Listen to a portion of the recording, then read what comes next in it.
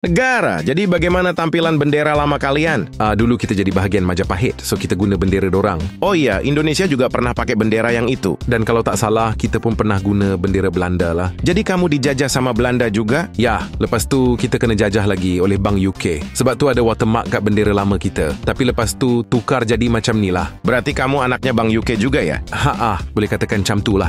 Lepas tu kita tukar lagi jadi macam ni. Jadi di tahun ini kamu sudah merdeka? Ah, belum, sebab kita pernah kena jajah oleh Jepun dan pakai bendera dorang juga. Pasti warga kalian sangat menderita ya. Ya, lepas tu kita tukar bendera lagi dan lagi. Dan akhirnya jadi macam ni. Oh, jadi ini benderamu yang sekarang? Bro, aku kecewa karena kamu nggak mau lepas dari Bank UK. Padahal Jepang sudah di-gift jamur dua biji. Bro, ikhlasin aja. Itu keputusan dia. Sorry guys, kita pun nak merdeka.